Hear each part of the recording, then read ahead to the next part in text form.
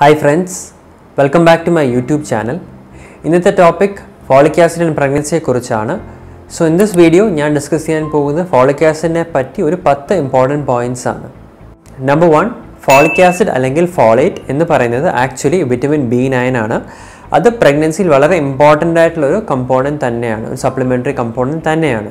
Recommended dose of folic acid എന്ന് പറയുന്നത് four hundred microgram per day ആണ്. Four hundred microgram per day recommend dose ആണെങ്കിലും നമുക്ക് available ആയിട്ടുള്ള ടാബ്ലറ്റ് ഫോംസ് ഫൈവ് മില്ലിഗ്രാമിലാണ് വരുന്നത്.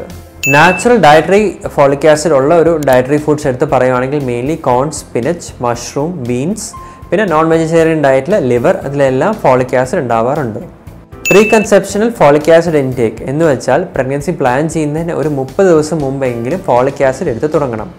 ഫോളിക് ആസിഡ് നോർമലി ഒരു ട്വൽവ് വീക്സ് വരെയാണ് കണ്ടിന്യൂ ചെയ്യുന്നത്. പക്ഷേ ചില ചില ഡോക്ടേഴ്സ് ത്രൂ ഔട്ട് പ്രഗ്നൻസി തന്നെ ഫോളിക് ആസിഡ് കൊടുക്കാറുണ്ട്.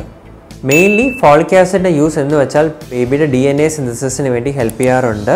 അത് മാത്രമല്ല ചില കഞ്ചനിറ്റൽ ഡിസോർഡേഴ്സ് അതായത് മെയിൻലി സ്പൈന ബൈഫിഡ എന്ന് വെച്ചാൽ കുഞ്ഞിന് നട്ടലിന്റെ ഫോർമേഷന് ഹെൽപ്പ് ചെയ്യും. അതിന്റെ ഒരു ഡിഫക്റ്റിനാണ് ഈ സ്പൈന ബൈഫിഡ എന്ന് പറയുന്നത്. അത് മാത്രമല്ല അലൻ കഫാലി എന്നൊരു കണ്ടീഷൻ എന്ന് വെച്ചാൽ മെയിൻലി സ്കൾ ഫോർമേഷൻ ഇൻകംപ്ലീറ്റ് ആയിട്ട് വരും. ഇതിന്റെ ഒരു ഫോളിക് ആസിഡ് ഡെഫിഷ്യൻസി ഉള്ളതുകൊണ്ടാണ് അങ്ങനെ സംഭവിക്കുന്നത്. ബേബിക്ക് മാത്രമല്ല മദറിനും ഫോളിക് ആസിഡ് യൂസ്ഫുൾ ആണ്. സ്ട്രോക്ക് ഹാർട്ട് ഡിസീസസ് അനീമിയ എന്നീ കണ്ടീഷൻസ് എല്ലാം ഫോളിക് ആസിഡ് എടുത്താൽ കുറച്ചുകൂടെ കുറയ്ക്കാൻ സഹായിക്കും.